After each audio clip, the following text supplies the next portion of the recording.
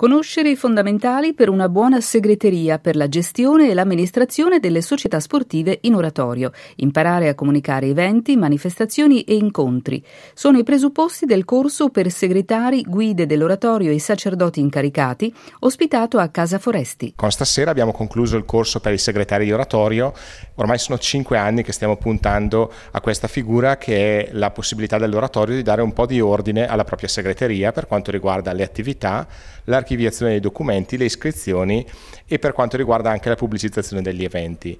Quest'anno abbiamo eh, approfondito due tematiche in particolare questa con l'ultima sera la tematica del rapporto tra oratorio e società sportiva, mentre nella serata precedente abbiamo approfondito la, la, tematica della pubblicizzazione degli eventi attraverso i siti internet, il profilo Facebook e anche attraverso volantini o qualsiasi modalità di pubblicizzazione da parte degli oratori. Hanno partecipato al corso circa una sessantina di segretari in rappresentanza di una quarantina di oratori. L'idea è che l'oratorio si evolve, cambia con il tempo, quella che era la figura spesso del barista di oratorio laboratorio che faceva un po' il tuttofare, raccoglieva le iscrizioni, dava le caramelle, eccetera, oggi è una figura importante ma che può essere affiancata da un segretario, una segretaria o un gruppo di segretari che offre all'oratorio un pochino più di precisione nella gestione amministrativa. La proposta si inserisce nell'ambito dei percorsi formativi promossi dall'Ufficio per gli oratori, giovani e le vocazioni.